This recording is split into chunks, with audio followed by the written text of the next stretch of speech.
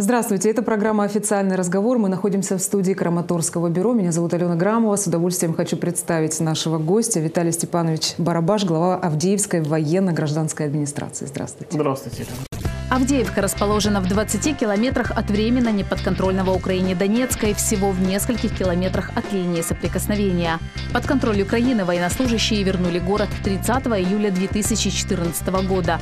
Для почти 25 тысяч местных жителей за последний год появились два новых железнодорожных маршрута – Авдеевка-Киев и Авдеевка-Днепро. Как развивается инфраструктура города, смотрите прямо сейчас. В этом месяце год, как вы являетесь главой Авдеевской военно-гражданской администрации. Вот год назад, придя на эту должность, а, с какими проблемами столкнулись? Наверное, одной из серьезных проблем это было, конечно, то, что город на тот момент уже был седьмой год в войне, город прифронтовой, город тяжелый, соответственно, люди, их настрой – Плюс э, инфраструктурная часть города ну, оставляла быть, знаете, лучшим. Э, и вот не знаю почему, но вот мои личные ощущения, что городом никто не занимался.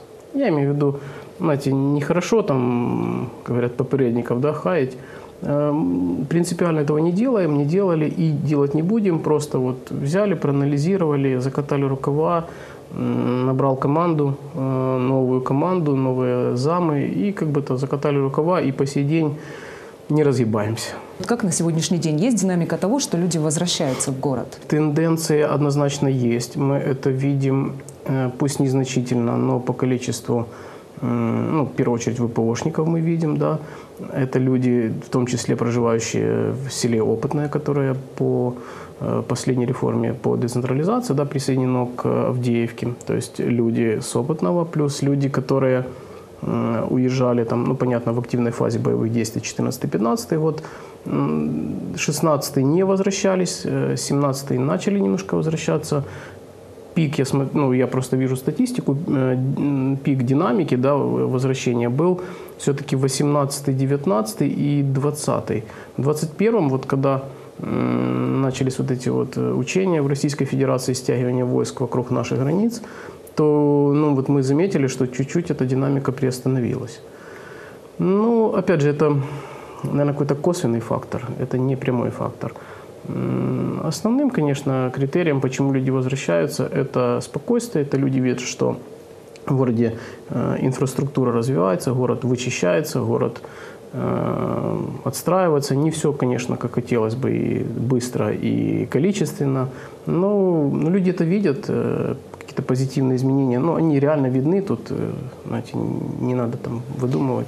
Но, тем не все менее, есть. по поводу развития программ, вот сейчас, если говорить о компенсации за разрушенное жилье, мы знаем, что э, у вас достаточно большое количество тех, кто получил эту компенсацию. Давайте об этом поговорим сейчас.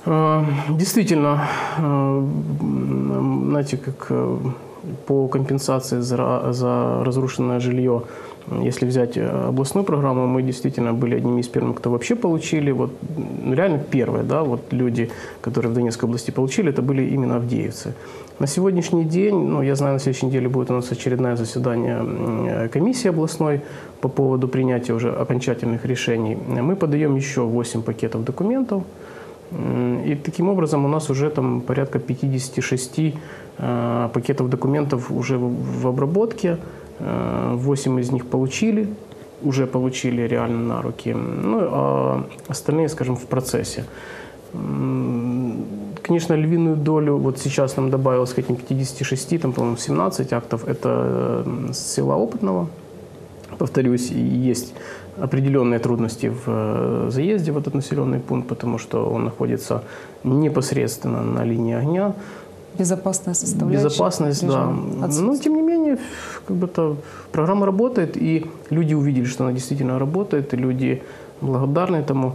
Ну, знаете, э, когда люди ну, на тот момент, там, 6 лет, да, там, даже надежды не было, а тут э, она заработала. В конце 2020 года эти первые 20 миллионов пилотные, которые тогда выделили, люди не верили. И, конечно, э, я видел слезы счастья у людей, которые первые получили эту компенсацию. Ну, действительно радостно за них, что... Ну, я помню, мы с вами общались, вы говорили о том, что на самом деле люди не верят, и это Не вот верят, одна да. из проблем того, что, э, ну, казалось бы, вроде обращений достаточно много, а вот, а скажите, вот если э, оценивать масштабы разрушений, э, я понимаю, что там с учетом опытного этих территорий, куда комиссия не может приехать для того, чтобы сделать оценку, все равно, если говорить о разрушениях, вот какие цифры есть у нас? Ну, э, ориентировочная цифра порядка 2000 домостроений. Это суммарно и многоквартирные дома, и частные дома владения. Порядка 2000 домов разрушены в той или иной степени, понятное дело. Э, Еще хотелось бы, наверное, в продолжении программы по компенсации э, рассказать о программе, э, скажем, отстраивания да, или восстановления крыш. Это тоже как бы, это, это не государственная программа, это областная программа. За счет материального резерва областного бюджета выделяются материалы, шифер, металл, дерево, гвозди. За счет э, местного материального ресурса и с привлечением ДСНС э, со всей Украины ребята работают. 150 человек, да, в этом Да, году? да, Мгм. да. Вот в этом году ротация 150 человек, 40 из них работают в Авдеевке. Э, И вот буквально цифры на сегодня. Выезжал к вам в студию, э, спросил у своих сотрудников на сегодня какая цифра. Э, 85 домов на сегодня. Вот в э, этом году уже этой ротацией восстановлено. В прошлом году за две ротации восстановили 166 домов. Ну, я вам скажу честно, в прошлом году, когда начинали, обращений было мало. Но вот я хотел, знаете, в контексте вот э, доверия людей и вот э, веры людей, да. То есть э, мы начинали, в прошлом году у нас было, если не ошибаюсь, там порядка 40 или 50 актов. э, Люди просили, чтобы им восстановили кровлю. То на момент уже второй ротации у нас их было более 300 этих обращений. В этом году мы тоже только начали восстанавливать, люди идут, видят.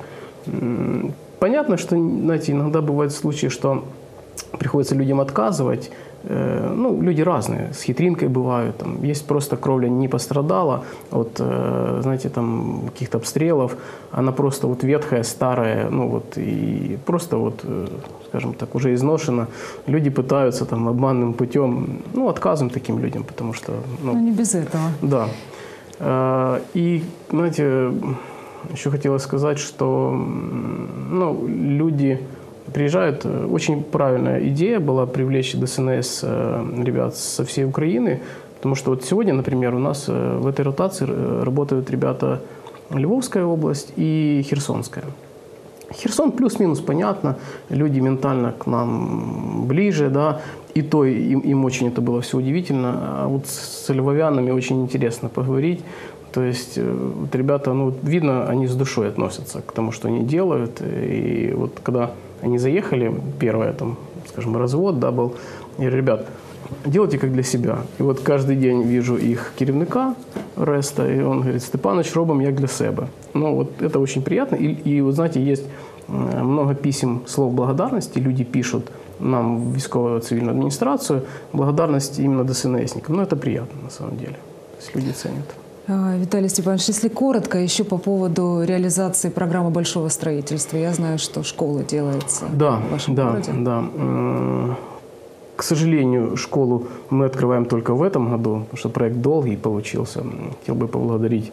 Вот в прошлом году, ну так совпало, наверное, там э, Кириленко Павел Александрович включился в эту историю, потому что э, проект был замороженный. Длительное время, более трех лет он был замороженным. Это мы скажем школа, которая попадала под обстрелы, да? Так точно, да. Это школа, которая пострадала, м, если я не ошибаюсь, э, в 2017 году. Э, Как бы то, ну, были проблемы с ней. Вот в прошлом году, повторюсь, совпало э, желание Павла Александровича все-таки достроить этот объект.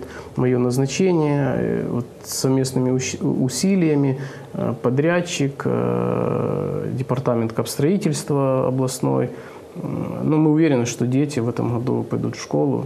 Школа действительно модерновая, классная. То есть, ну, вот я даже вот, ходя по, по кабинетам, по коридорам, да, этой школы, ну, где-то даже завидую, что вот у нас школы были другие в нашем детстве. Э, Хотелось бы еще поблагодарить, наверное, Литовскую э, республику да, за участие в этом проекте, потому что ну, не секрет, что Литва выделяет миллион евро помощи именно для обустройства этой школы. Ну, для такой небольшой страны, как Литва, это большие деньги. И вот именно в наш прифронтовой город, даже фронтовой город, выделяются такие колоссальные средства. Ну, действительно, спасибо им за это. Но мы не подведем. Спасибо вам, что были гостем нашей студии. Я хочу напомнить, Виталий Степанович Барабаш, глава Авдеевской военно-гражданской администрации, был сегодня с нами в студии.